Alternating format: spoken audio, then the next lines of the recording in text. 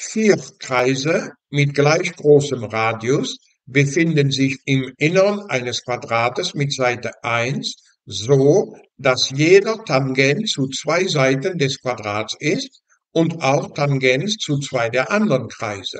Frage, wie groß ist der Radius des kleineren fünften Kreises, der Tangent zu den vier vorigen ist? Zuerst stellen wir das Quadrat dar mit Seite 1 und im Innern des Quadrats konstruieren wir diese vier Kreise, die in der Angabe beschrieben werden. Zwangsläufig ist der Radius von jedem dieser vier Kreise genau ein Viertel, weil die Seite des Quadrats ja 1 ist. Es gibt zwei Kreise, die tangent zu diesen vier Kreisen sind. Das ist einmal dieser kleine da und einmal dieser große da. Hier sollen wir aber den kleineren nehmen, also blenden wir den großen wieder aus. Was wir suchen, ist der Radius von diesem kleinen roten Kreis.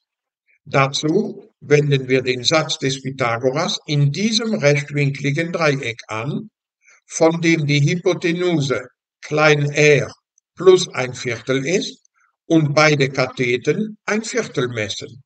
Also ergibt der Satz des Pythagoras sofort r plus ein Viertel im Quadrat, das ist ein Viertel im Quadrat plus ein Viertel im Quadrat. Ein Sechzehntel plus ein Sechzehntel, das macht ein Achtel. So, jetzt setzen wir das Quadrat noch rechts rüber und somit haben wir klein r plus ein Viertel, das ist die Quadratwurzel von ein Achtel. Also die Quadratwurzel von 1, das heißt 1, geteilt durch die Quadratwurzel von 8, das heißt geteilt durch 2 mal die Wurzel von 2.